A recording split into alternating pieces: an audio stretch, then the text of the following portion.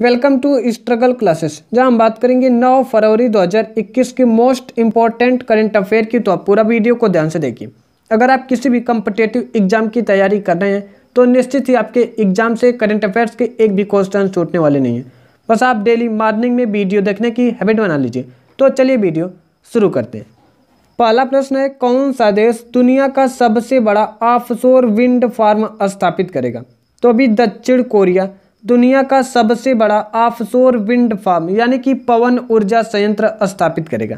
इस क्वेश्चन का C option सही है। दक्षिण कोरियाई सरकार ने 2030 तक इस पवन ऊर्जा संयंत्र को स्थापित करने की मंजूरी दे दी है। इसे सीनांसार में स्थापित किया जाएगा। और यह दुनिया की सबसे बड़ी पवन ऊर्जा संयंत्र होगी। इसकी कुल क्षमता आठ दशमलव दो गीगावाट है। वर्तमान में दुनिया की सबसे बड़ी पवन ऊर्जा संयंत्र ब्रिटेन में हारनसी वन है इसकी क्षमता एक दशमलव एक दो गीगावाट है। नेक्स्ट क्वेश्चन है, हाल ही में किस राज्य के निर्वाचन आयुक्त ने e watch mobile app launch किया है? तो अभी आंध्र प्रदेश के निर्वाचन आयुक्त ने e watch mobile app launch किया है। इस क्वेश्चन का बी ऑप्शन सही है।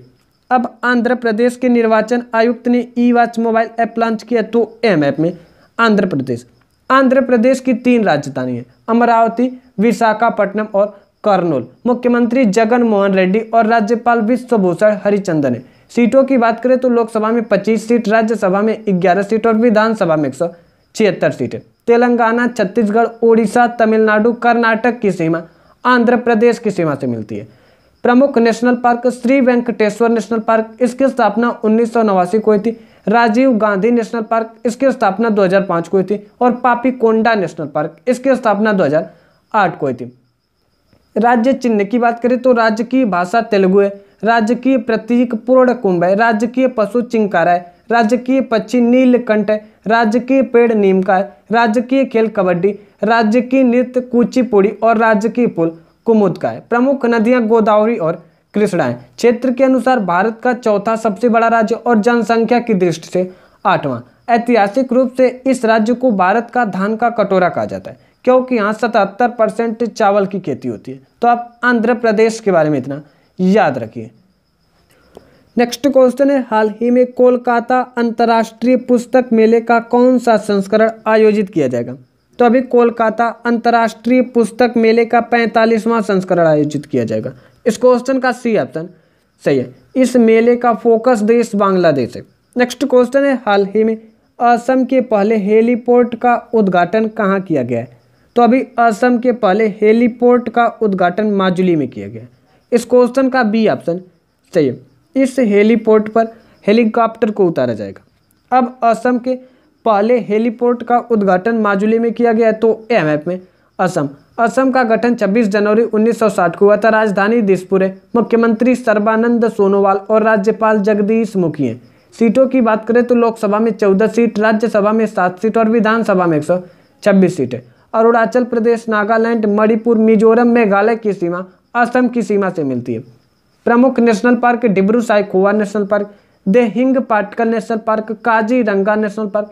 Kaziranga national park एक सिंह वाले गैंडा के लिए प्रसिद्ध है। अक्सर कंपटेटिव एग्ज़ाम में पूछा जाता है। आप इसका नाम याद रखिए। Manas national park, Orang national park और नामेरी नेशनल पार्क।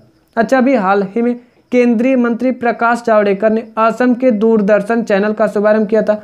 असम में महिला सशक्तिकरण के लिए अरुणोदय योजना शुरू हुई थी। असम में भारत के सबसे लंबे रोपवे का उद्घाटन किया गया था। असम में मूर्त विरासत की रक्षा, संरक्षण और पुनर्स्थापना के लिए विधेयक पारित हुआ था। असम में स्वयं योजना लॉन्च की गई थी। असम गवर्नमेंट ने सिनेमा हॉल को फिर से खोलने के लिए सब्सिडी देने की घोषणा की थी। असम में धनवंतरी योजना शुरू हुई थी और भारत का एकमात्र गोल्डन बाग असम में देखा गया। तो आप असम के बारे में इतना याद रखिए। नेक्स्ट क्वेश्चन है, हाल ही में किस खिलाड़ी ने अपने सौवें टेस्ट में 200 रन बनाने वाले दुनिया के पहले बल्लेबाज बन गए? तो अभी जो रूट अपने सौवें टेस्ट मैच में 200 रन बनाने वाले दुनिया के पहले बल्लेबाज बन गए। इस क्वेश्चन का बी ऑप्शन सही है। अभी इंडिया और इंग्लैंड के बीच टेस्ट सीरीज़ चल रही है। उस टेस्ट सीरीज़ का पहला मैच जो रूट का सौवा टेस्ट मैच था और उसमें जो रूट ने 200 रन बनाया और यह कारनामा करने वाले जो रूट दुनिया के पहले बल्लेबाज बन गए। नेक्स्ट क्वेश्चन है, हाल ही में किस राज्य ने टाटा समूह के सहयोग से भारतीय कौशल संस्थान की स्थापना करने की घोषणा की है? तो अभी ओडिशा ने टाटा समूह के सहयोग से भारतीय कौशल संस्थान की स्थापना करने की घोषणा की है। इस क्वेश्चन का सी ऑप्शन सही है। अब ओडिशा ने टाटा समूह के सहयोग से भारतीय कौशल संस्थान की स्थापना करने की घोषणा की है तो एम में ओडिशा।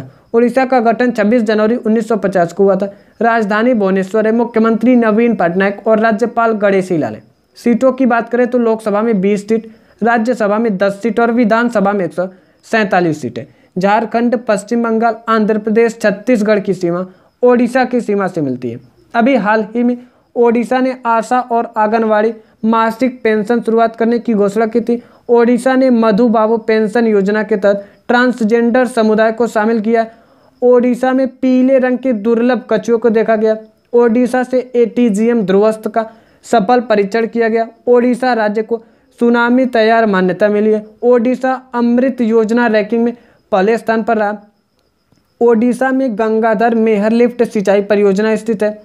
ओडिशा में नुआखाई फ़सल उत्सव मनाया गया है और मिशन ज़ीरो एफ़ शुरू किया गया है। सुमंगल पोर्टल ओडिशा में लॉन्च किया गया और ओडिशा गवर्नमेंट ने चार मेगा पेयजल परियोजनाओं को मंजूरी दी है। तो आप ओडिशा के बारे में इतना याद रखिए। नेक्स्ट क्वेश्चन है, हाल ही में पीएम मोदी ने किस राज्य के सोनीतपुर ज़िले में असोम माला का शुभारंभ किया है?